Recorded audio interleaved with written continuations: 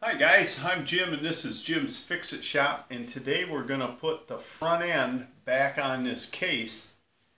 Uh, I wanted to do the differential next but if you watched the previous show the bushing they sent me was a little oversized on the bore and I didn't like that. I called them up and they said no problem we'll send you another one with no charge on the bushing and no charge for the shipping.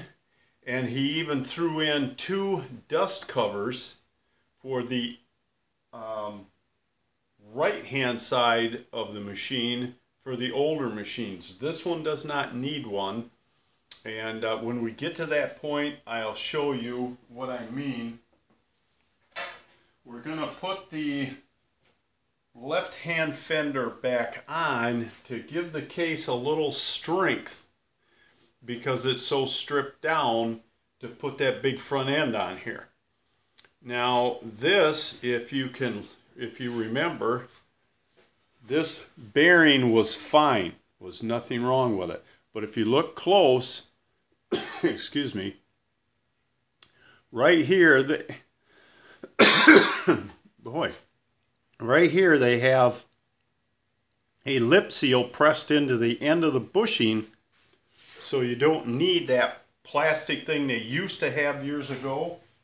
Uh, there's one on my uh, model that they discontinued. Then they came out with a rubber, um, well actually they didn't have anything. I come up with the rubber dust cover with a different size seal and for the left side of the machine. uh, but get a chance, maybe I'll go over that again, but I'll, I guess I'll wait till they come in so I can show you what they look like. Uh, I'm going to order another seal so I can show you how to put them in there and how they fit on my model and I'll get rid of that stupid plastic thing. But right now let's put this fender on so we can get the front end in there. Let's move the camera down. Okay, we have four bolts that holds the fender to the rear case. One of the bolts on this model is about an eighth of an inch longer than the other three. That's because it has to go through this bracket that holds the mower deck. So let's put this one on We'll put one of these on. Now we got to go through these wire clamps that hold the wires in place.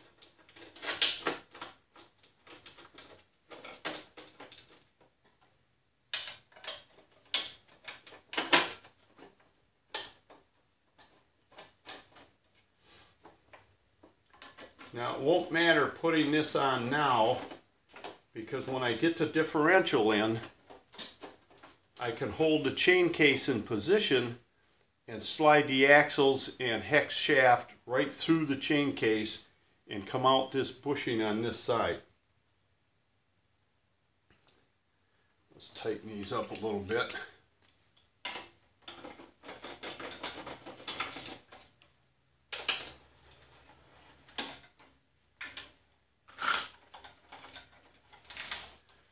it's kind of nice putting this back together. I get some of these parts out of my way. I've got parts everywhere for this thing.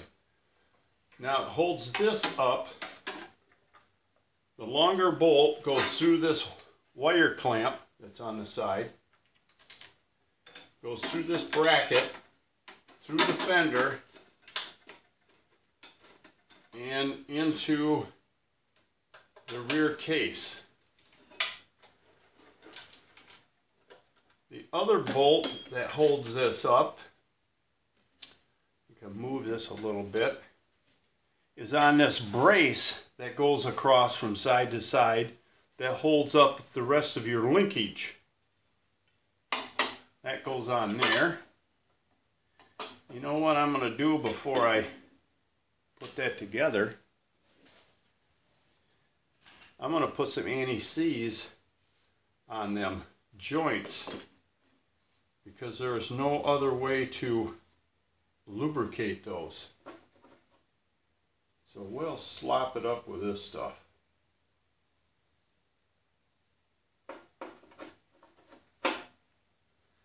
Now this is Anti-Seize lubricant. It's probably, I guess it's different than regular Anti-Seize. In what respect, I don't know. Um,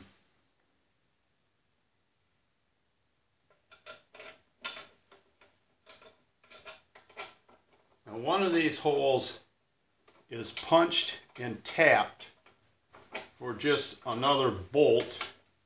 The top hole is just drilled, so you got a nut and a bolt that goes through there.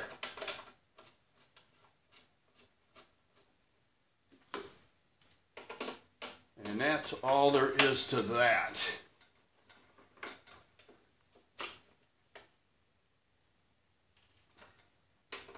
We'll tighten these up.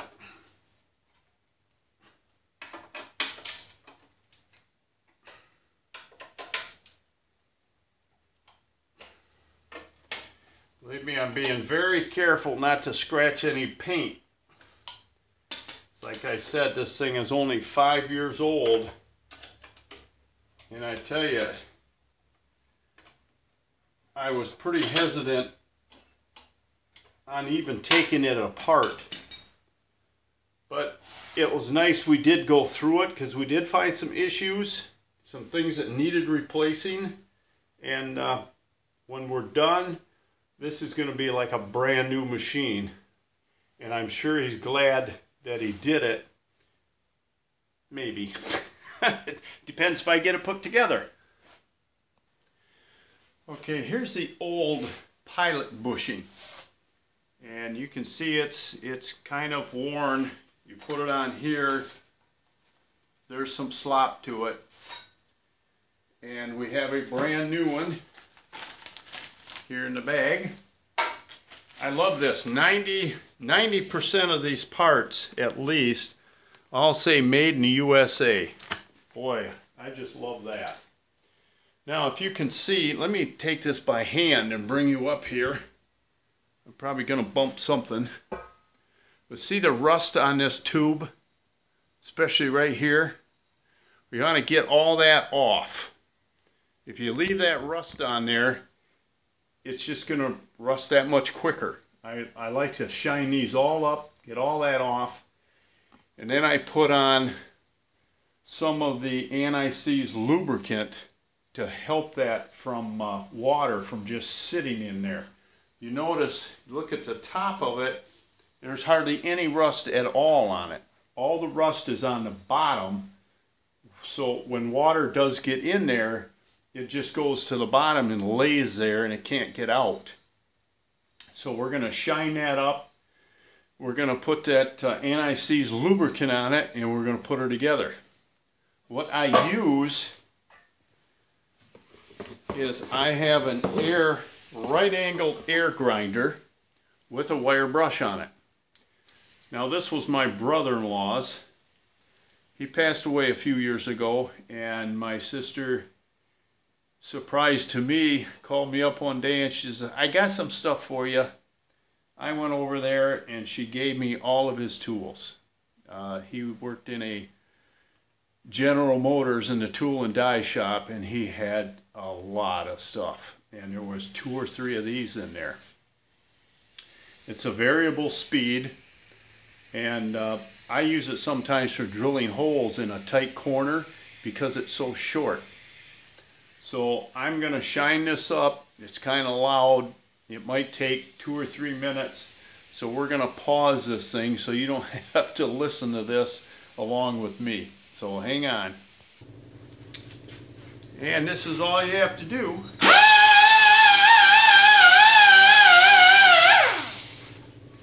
Actually, that took less than a minute to shine that up. All the rust is gone nice and smooth, just like brand new. So now we're gonna smear a bunch of this stuff on there. this is this stuff's worse than Permatex. He'll have this stuff all over his pants. I know he will. That's not that's not funny, is it?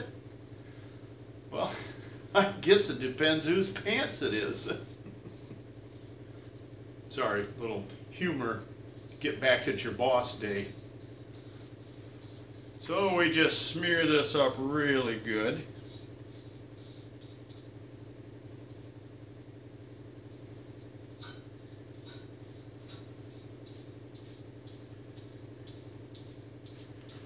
Believe me, I don't don't feel bad, boss, because by the time I get this all put back together, I'm gonna have this stuff all over me too. You just can't work with this stuff without getting it on you.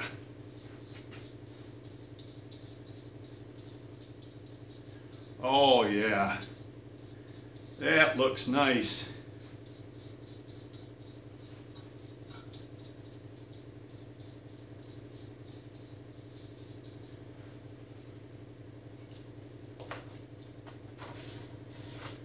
Now we're going to try, let me turn this a little.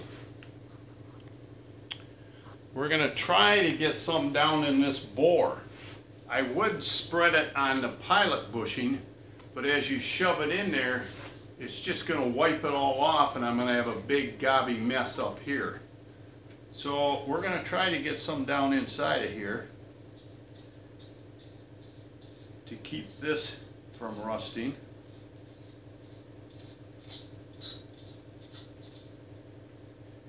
And when we slide that bushing in, that will smear it the rest of the way down through this bore.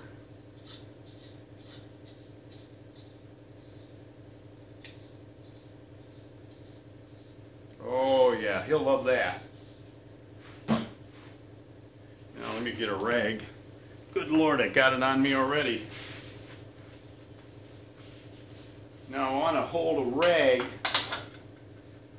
down here in the bottom when I shove this thing through.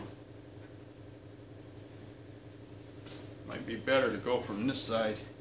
It's more open.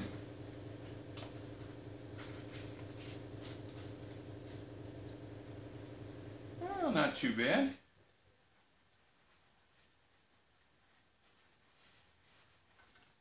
Yeah, bad at all.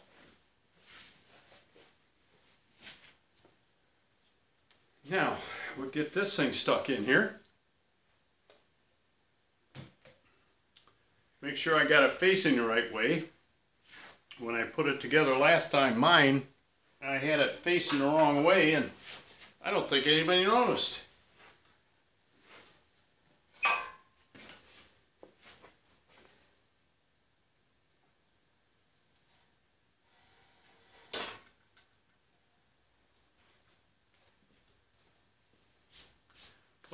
Starting to look like something.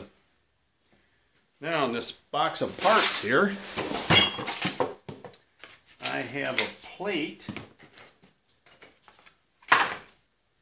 that goes up here and captures inside this clamp that keeps the tube in the proper adjustment for the belt. I took it apart this way instead of taking the clamp off the tube. Well, because one thing, once you loosen them clamps up and try to slide them, they're going to scratch that paint all up terrible. This way, I didn't have to disturb the paint or I didn't change the setting for the belt for the mower deck because this is how you adjust the belt for the mower deck to get it to right tension.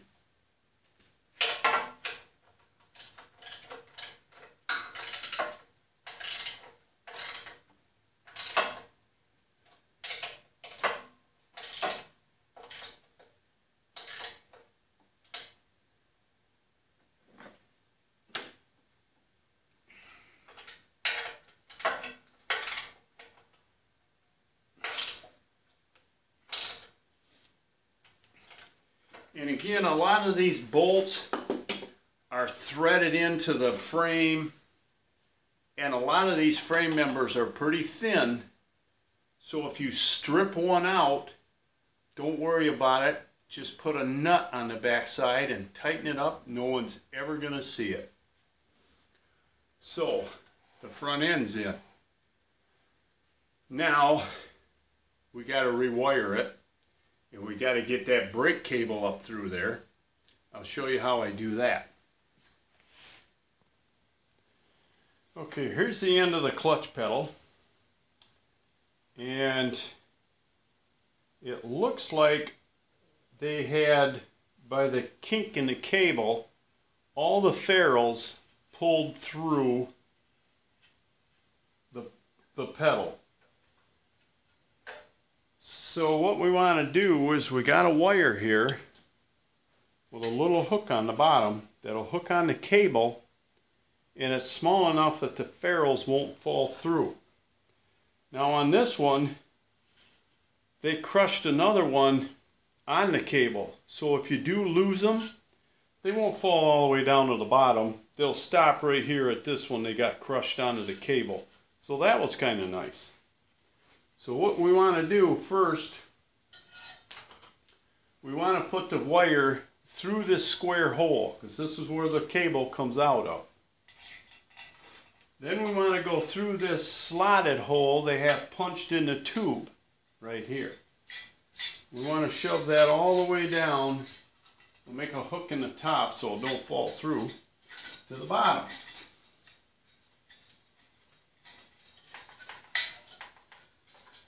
It's down here somewhere, I just know it. Alright, we're going to hook this cable on and hope and pray that it comes out the first time.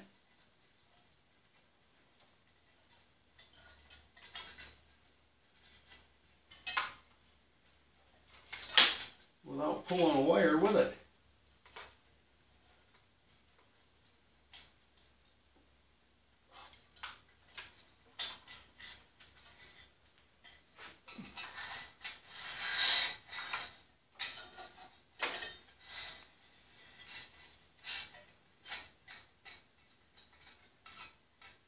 Now this is the fun part. You get it up to the top, you got to try to get it out the hole without losing it.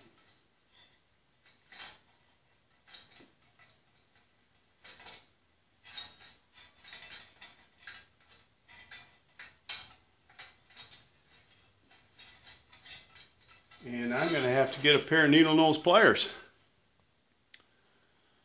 Okay, that was a challenge. Um, it's easier if you have this extra little ferrule clamped to your cable let the rest of them fall down to it and just grab the head of the cable. It's a lot easier to pull it out. That took about three or four minutes to get to that. So I'm guessing they had all of them ferrules pulled through. You that's probably something I should have counted when I took it apart, but we can adjust the clutch later. What we want to do now is get this cable through the hole in the pedal guard.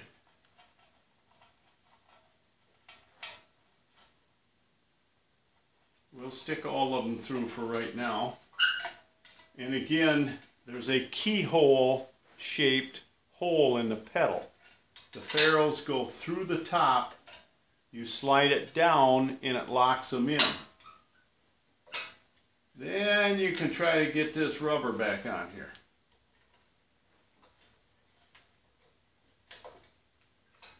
These can sometimes be a problem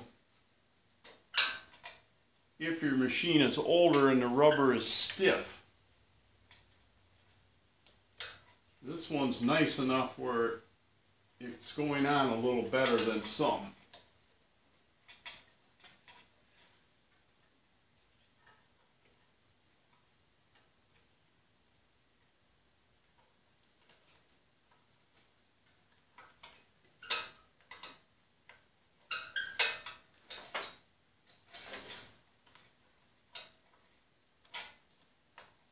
But not as good as others.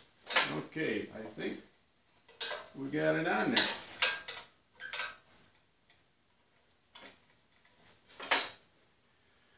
that's it for the cable. Now we'll go down and we'll try to get all the wires hooked back up for the ignition switch. Um, when you turn it to the off position, there's a kill wire, there's an on wire, and there'll be a start wire that goes to the solenoid. We got to get them in position yet. And it looks like a ground wire. So I guess let's drop the camera down and put them on. I don't know how much of this you're going to be able to see because it's pretty tight quarters in here. But we have the red wire I labeled number one. That is for the safety switches they have on the machine as far as the shifter, the clutch has to be pushed in, the mower deck, they all got safeties on them. That's what that red wire is for. The blue wire goes to the solenoid. and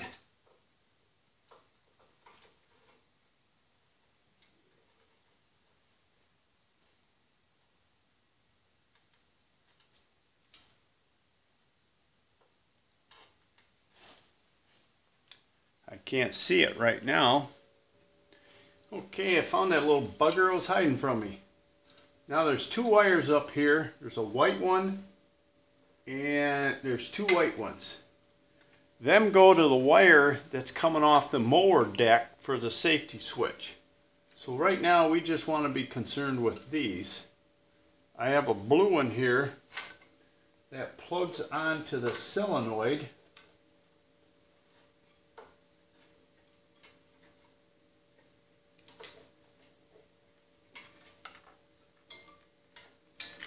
To go up this hole here, I guess.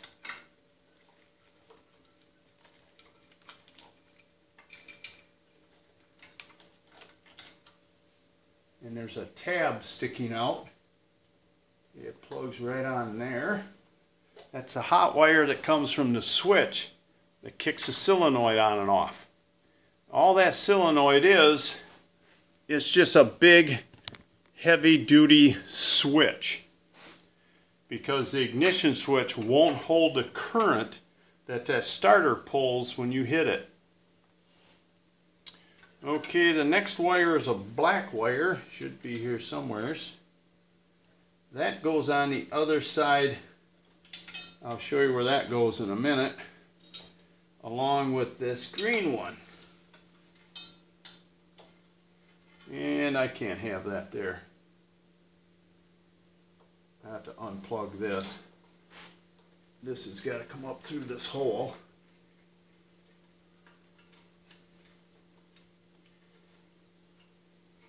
And plug in in here.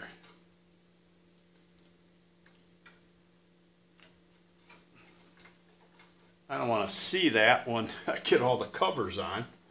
Now I'm going to spin this thing around. Now this is a little contact block right here that all your safety switches hook to and your kill wire. And if any of them close, it shuts the engine down. So we'll take this nut off. It has a little built-in lock washer. And we'll put this wire back on here that nut back on.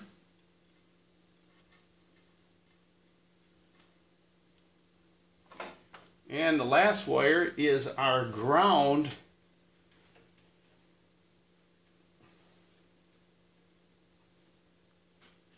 that goes under the nut that holds the engine down to the rear case.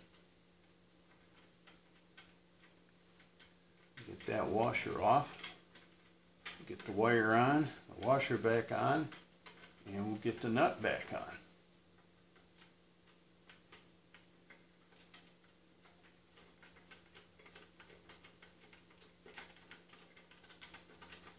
And that's it.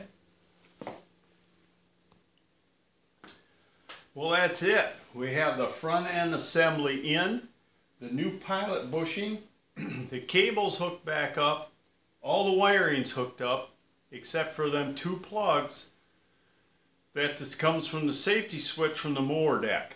That tells you the mower deck is not engaged while you're trying to start the engine. Next, we're going to be putting in the new bushings for the kingpins and getting the uh, linkages hooked up. So if you have any questions on this, please throw them in the description box below and I'll answer them in the same place so everybody can benefit from your questions and hopefully my answers. So uh, I guess don't forget to subscribe and until next time, work safe, have fun, and let's try to get this thing put back together. We'll talk to you soon.